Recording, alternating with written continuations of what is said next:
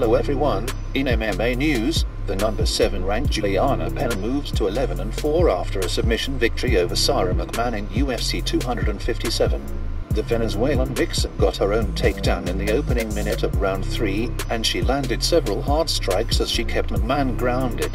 With a little under 2 minutes to go, Pena took McMann's back and sunk in a choke. After the fight, Pena didn't waste time and immediately calls out the reigning bantamweight and featherweight champion Amanda Nunes. I'm coming off of fighting three former world champions, and I just beat the best wrestler in the division. I have some news. Amanda Nunes, I want to fight you. This girl is fighting a girl who's only had three wins. Nobody's had a tougher road in the UFC except for me, and I want to fight Amanda. It's time for her to quit ducking. That's my fight.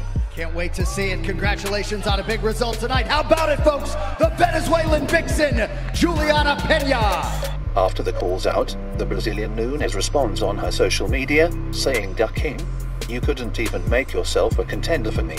Thank you for watching and please don't forget to subscribe,